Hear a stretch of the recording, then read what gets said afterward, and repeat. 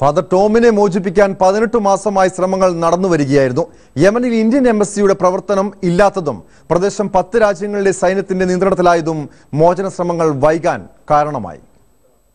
Mother Teresa രൂപം കൊടുത്ത missionaries of charity സന്യാസിനി സമൂഹം യമനിലെ ഏഡനിൽ നടത്തിയിരുന്ന വൃദ്ധസദനം ആക്രമിച്ചാണ് ഫാദർ ടോം ഉഴുന്നാലിലിനെ ഭീകരർ തട്ടിക്കൊണ്ടുപോയത്. രണ്ടായിരത്തി പതിനാറ് മാർച്ച് നാലിന് നടന്ന ആക്രമണത്തിൽ നാല് കന്യാസ്ത്രീകൾ ആറ് ഇത്യോപ്യക്കാർ ആറ് യമൻകാർ എന്നിവർ കൊല്ലപ്പെട്ടു.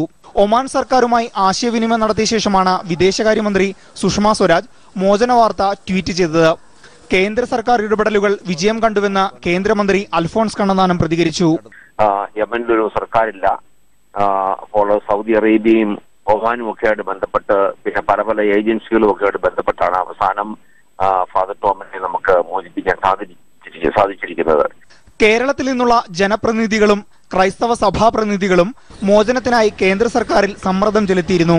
മതപുരോഹിതർ പ്രവാസികൾ എന്നിവർ വഴി മധ്യസ്ഥ ചർച്ചകൾക്ക് ശ്രമിക്കുകയും ഒമാന്റെയും സൗദി അറേബ്യയുടെയും സഹായം തേടുകയും ചെയ്തിരുന്നു. സഹായം അഭ്യർത്ഥിച്ചുള്ള ഫാദർ ടോമിന്റെ വീഡിയോ ദൃശ്യങ്ങളും ഇതിനിടെ പുറത്തു വന്നിരുന്നു. P B Anoop Manorama news Delhi.